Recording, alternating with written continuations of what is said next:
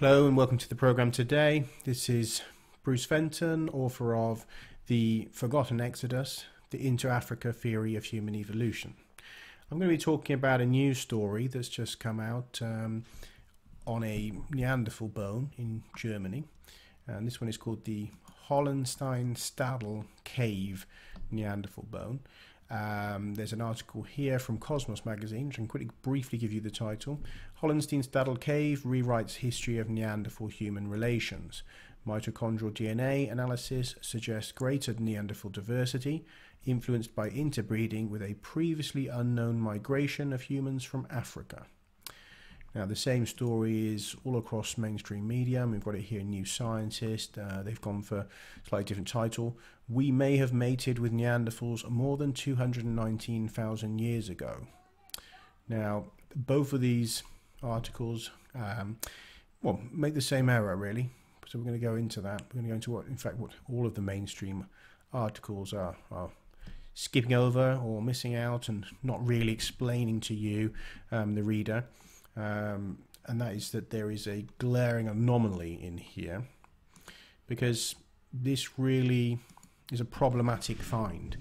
Um, the genes of Homo sapiens have been detected in the bone, and they've the dating for the interbreeding event that you know put them there has been given as between 470,000 and 220,000 years ago.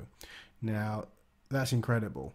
I mean, it's no secret that early hominins of different shapes and sizes, uh, with very different genetic lineages, even those of you know what we can call different species, uh, indulged in exotic sexual liaisons.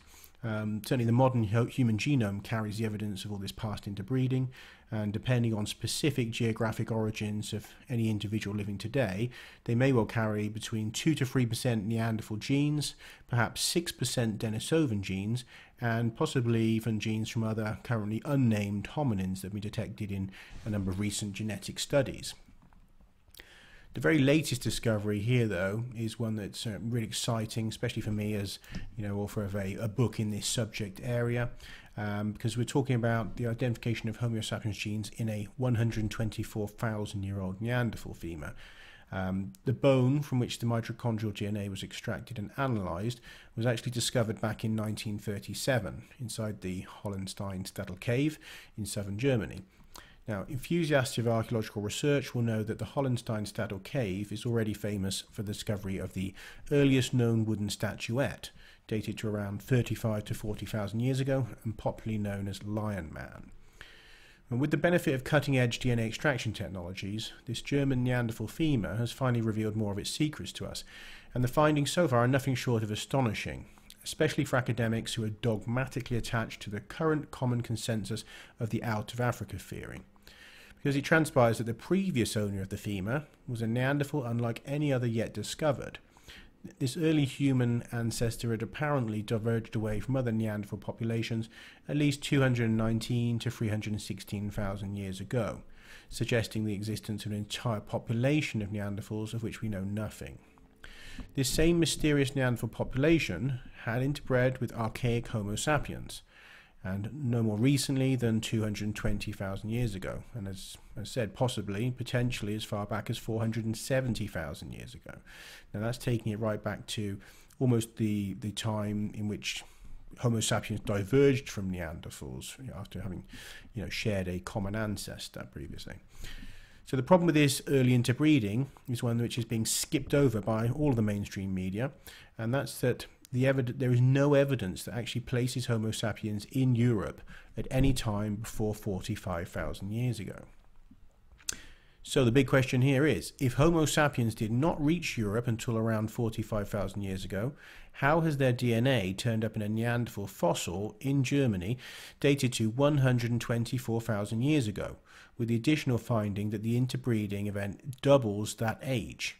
So it's not even just that it's 124,000 years ago that this happened, but yeah, we're, we're going way back to perhaps beyond 220,000 years ago.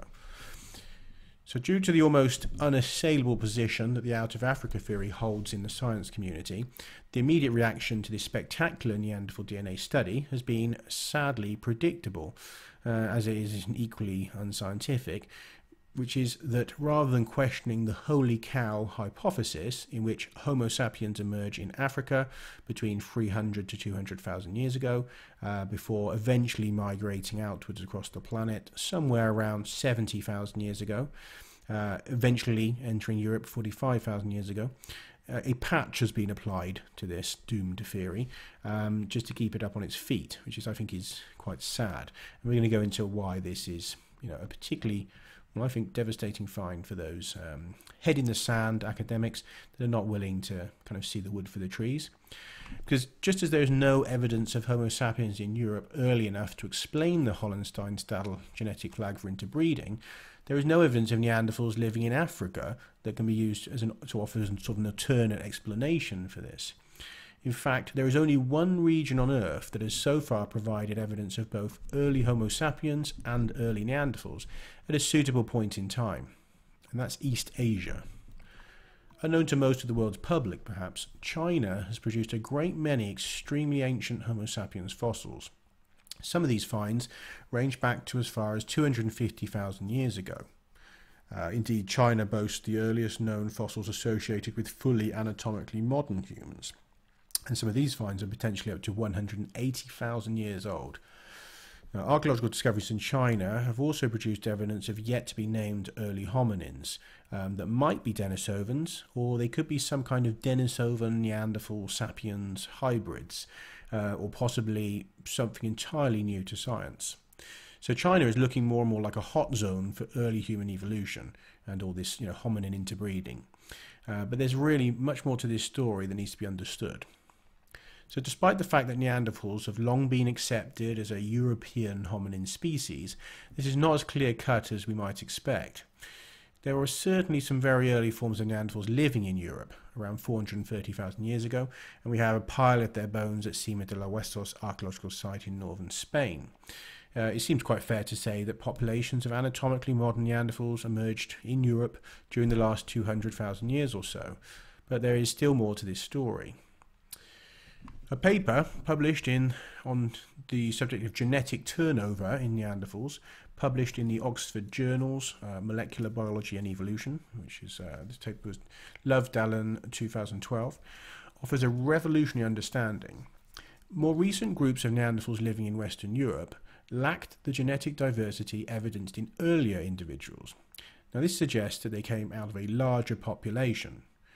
Strangely, for a supposedly European hominin, Central Asian Neanderthals display much greater genetic diversity. The data seems to paint a picture in which waves of Neanderthals are migrating into Europe from a larger, more genetically diverse Neanderthal population somewhere in Asia. Now, if all of this was not enough to call into question the current understanding of Neanderthal origins, and indeed the interbreeding events with Homo sapiens, there's another issue that still has to be addressed here and that's the Denisovan factor.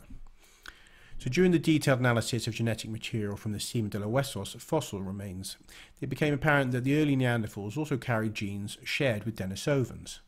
But these genes were no longer present in more recent Neanderthal forms. So fossilized Denisovan remains are not found anywhere in Europe. There's no trace of their genes in the genome of modern Europeans. So this kind of explains why Neanderthals in Europe lost their Denisovan genes. There was clearly no Denisovans there to supply a, a, you know, a fresh flow of genes into the local population. So where did the ancestors of Neanderthals, living earlier than 430,000 years ago, acquire these Denisovan genes? Well, we know that Denisovans diverged away from Neanderthals sometime between 190,000 to 470,000 years ago, and so far they're only definitively identified, definitively identified with two areas of the planet. Uh, the first region is associated, sorry, the first region associated with Denisovans is in southern Siberia, at a cave site not very far from China's northwestern border with Russia. The Denisova cave site has produced a small collection of bones just from four Denisovan individuals. The youngest bones date to around 50,000 years ago, whilst the oldest are over 100,000 years in age potentially 150,000. Now, genetic analysis of the Denisovan remains has revealed that ancestors of one of the individuals had interbred with Melanesian type modern humans, which takes us then to the most significant evidence we have relating to Denisovans, and of course our second location that's associated with them. Because incredibly enough, the only region on Earth where modern humans evidence a strong genetic flag for an ancient interbreeding event with involving both Denisovans and modern humans is in Australasia, uh, specifically northeast Australia and Guinea. Genetic studies of Australasian populations in the named areas have revealed that around 6% of the local modern human genome has come down from Denisovans and close relatives of theirs, beings not yet known in the fossil record and this finding strongly indicates that a population of Denisovans was living in Australasia, and the dating for the flow of genes into Melanesians places them there at least as far back as 44,000 years ago. The majority of East and the majority of East Asians carry only around 0.1% Denisovan genes, suggesting Denisovans were not living in that region. Rather, they were living just down in sort of the beyond Southeast Asia, beyond the Wallace line down in Australasia. Um, so, despite the fact that we know Homo sapiens were living in East Asia, it doesn't seem that Denisovans were living alongside them. Possibly they were, but that's yet to be shown. The only regions in which ancestors of European Neanderthals can have acquired genes shared with Denisovans and genes from early Homo sapiens are the lands from northwest China down to Australasia. The strongest evidence we have today as to the location of the Denisovan homeland places it not in Siberia, but Australasia and Southeast Asia, making it very likely that Neanderthal ancestors moved up through Southeast Asia into East and Central Asia long before they entered Europe. An Asian migration model offers the most logical scenario if we are seeking to understand the archaic interbreeding signature detected in European Neanderthals.